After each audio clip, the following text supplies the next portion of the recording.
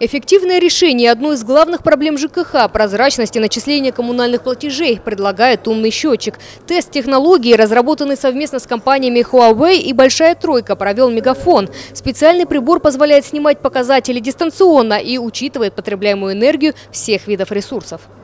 Здесь представлен комплекс системы, работающий на базе технологии NB-IoT, устройство сбора, а также передачи данных посредством GSM-модема и, конечно же, счетчики. Учитывается не только объем затраченной электроэнергии и израсходованной воды, но также риск протечки. Отследить данные можно будет элементарно при помощи специального мобильного приложения.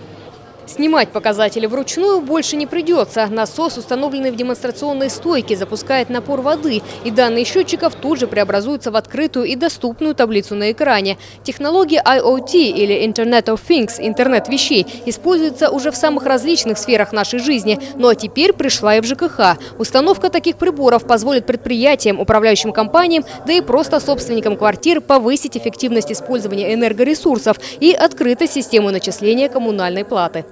И уверена, что данное решение, которое с коллегами сегодня презентуем, оно, безусловно, станет еще одним шагом по повышению эффективности управления жильем и, в общем-то, повысит нашу с вами э, платежную дисциплину.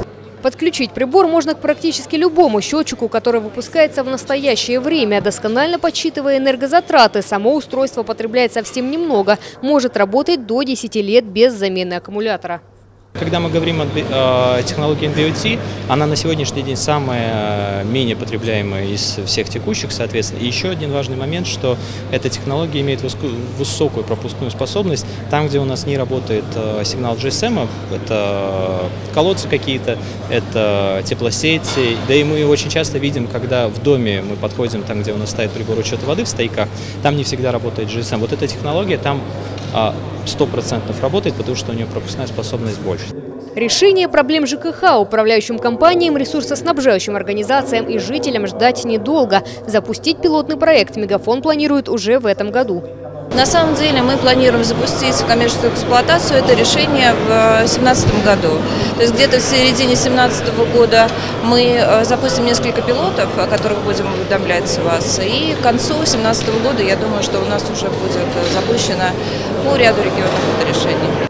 Пока регион, в котором будет реализован пилотный проект, не определен, однако предложение от управляющих компаний протестировать технологию звучало немало уже на презентации проекта. Александра Гранич, Игорь Поляков, телерадиокомпания «Щелково».